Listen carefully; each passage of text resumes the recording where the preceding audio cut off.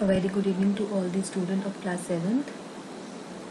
So student, today is the turn of chapter number 14 and the name of the chapter is Rainbow Gopi.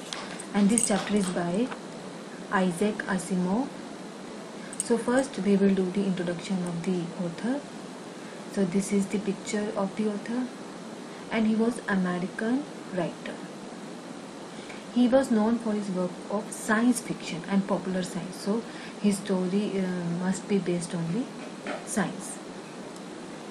So he has written more than 500 books and uh, estimated 90,000 letters and postcard. He was born on 2nd of January 1920 in Russia and died on 6th of April 1992 in United States.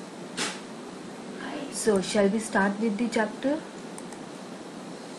So there is a couple, Lillian Wright and the name of her husband is George. They are a couple. They are talking to each other.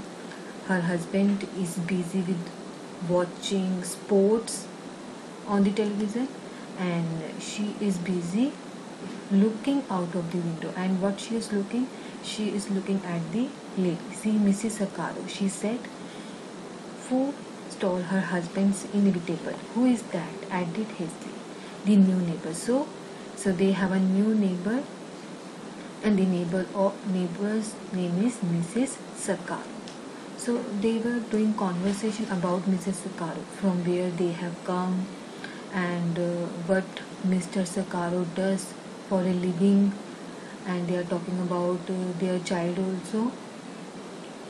So see this? I wish tommy would make friend with him. So mrs lillian wright. See this? Mrs lillian wright. She is talking to her husband that i want my son. Lillian wright and george. The couple has a son and name of the son is tommy. That i want my son tommy would make friend with him. So that uh, conversation with the parents must be started. It's not really anyone's business what he does. It's odd that i never see him go to work. So now um, lillian wright she is talking to her husband that i don't know uh, what mr sakaro does because i have never seen him to go to the work. So you do work at home you write also but i don't know what he does. So now so her husband is saying that uh, that it is not your business why are you worried what mr sakaro does हमें क्या लेना देना कि mister सकारो क्या काम करते हैं so you do your work so you said you called i said hello but well she had just moved in and house was still upset now mrs leland wright talking to her husband and saying that that once i have conversation with mrs sakaro कि मेरी एक बार Mrs सकारो से बात हुई थी and uh, it was only hello and she was very much worried when she looked at the cloud she was looking at the cloud because mrs sakaro was in the habit of looking at the sky again and again because she was worried about the rain and she was worried about the clouds Mrs सकारो को ये बहुत डर होता था कि कहीं बारिश ना हो जाए बार बार क्लाउड्स की तरफ देखती रहती थी तो वो बोलते कि मैं चाहती हूँ कि हाय हेलो से भी आगे हम बढ़े। हम I want to talk to her मुझे से बात करनी है बिकॉज़ जब उसने बोला कि क्लाउड्स हैं, बारिश होने वाली है it was broad sunlight एकदम सूरज निकला हुआ था। Why she was worried about the rain तो उसके बाद she went to her home और उसके घर जाती है। कौन? Lillian Wright went to the home of Mrs Sakaro and she was amazed to see the kitchen was very uh, clean neat and clean she says that that uh, her house was very clean and she has given me a glass of water with a napkin even कि उसने जो पानी का गिलास बिठाया वो भी napkin से उठाया she was very much worried about the hygiene तो हर हाउस ऑफ मिसिस अकार was very much neat and clean अब her husband ask her that how able to go to her home तो उसके घर गई कैसे? तो वो बोलते कि I was very much worried कि should I go to her home और not but still I manage to go to Mrs Sakaro's house अब अपने हस्बैंड को बोलते that you are not doing anything tomorrow that sound like a statement not a question तो अपने husband को order देते that we are going tomorrow to a Murphy park किसके साथ?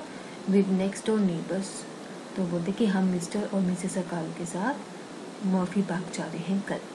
तो वो वहाँ जाते हैं and you know when they set in the car there was no conversation held between them कोई आपस में बात नहीं करता है और and Mr Sakaro was having a pocket radio with in by he was having pocket radio so that he can have the news about the weather forecasting ताकि उनको पता चल जाए कि बारिश तो नहीं होने वाली. Because Mr Sakaro Mrs Sakaro and child was use to be very worried about the rain and cloudy weather now they went to the park they enjoyed they enjoyed snacks they take picture of each other they buy candy flows candy flows आपको पता है ना वो लेते हैं कौन लेता है Mr and Mrs so George and Leland Wright were very much uh, angry that why they are having so much candy flows, why they are eating so much sugar. And George बोलते कि अगर इन्होंने एक और candy flows से लिया तो मैं तो वॉमिट कर दूँगा। सो so, ऐसे ही वो टाइम पास करते हैं वहाँ पे। And then C Sakaro boy was so polite Sakaro boy means the son of Mr and Mrs Sakaro तो लीलन राइट बहुत प्रेज करती है सकारो बॉय की that he is very nice and he never never about anything and like he he he compares Sakarabai with his son Tommy अपने बेटे के साथ comparison करते that he is very civilized person Sakaro boy तो बहुत civilized है as compare to my son तो ऐसे ही उसकी प्रेज करती है and then after spending time in the Murphy park तो क्या डिसाइड करते हैं that they should go back why they decided to go back because Mr. Sakaro, see, wailed that all the forecast had been for fair weather. George tried to console them. अब उनको pocket radio से news पता चल जाती है कि storm is about to occur storm आने वाला है। तो जॉर्ज बोलता है no no no some time news can be wrong गलत भी हो सकती है। देखो cloud is very there is no cloud and sky is clear there will be no rain but वो जिद करते हैं we need to go so they started again they sat in the car and uh, they reached at the place but what happened?